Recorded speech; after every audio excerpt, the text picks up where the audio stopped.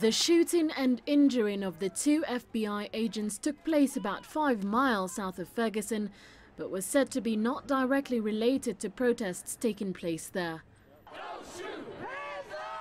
Demonstrations, however, continued across Ferguson, Missouri on Tuesday night. A police vehicle was set on fire and more than 40 arrests were made.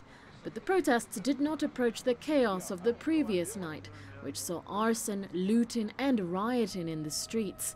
It's clear, though, that people remain angry.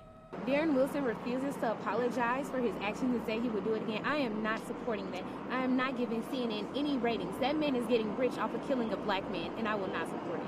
It's crazy, man. It's, it's, it's all crazy. It's a bunch of bull. They know that's just like that's why they released this verdict at nighttime. They knew what was going to happen. They wanted to burn.